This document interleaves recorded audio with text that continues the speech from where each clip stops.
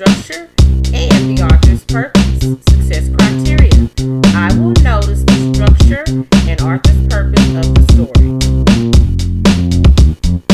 Materials needed. You will need your reading notebook, a pencil, and you will choose from one of three stories.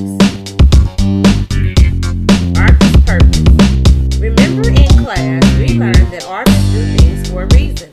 The author can write a book, for a purpose of entertaining the reader for enjoyment. Now,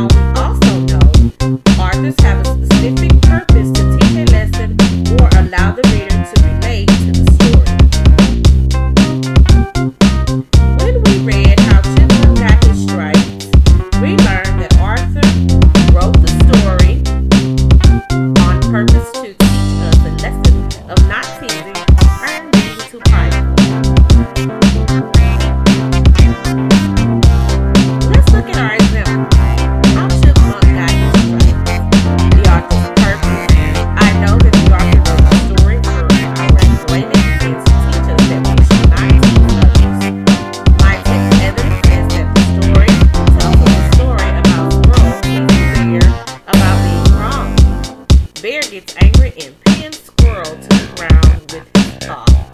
How I relate? This reminds me of when I have been in an argument about being right with a friend. Now it's your turn. First, choose Belling's cat,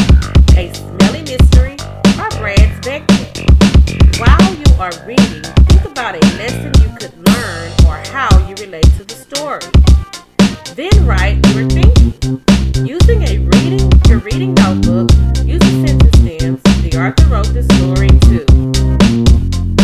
Use a check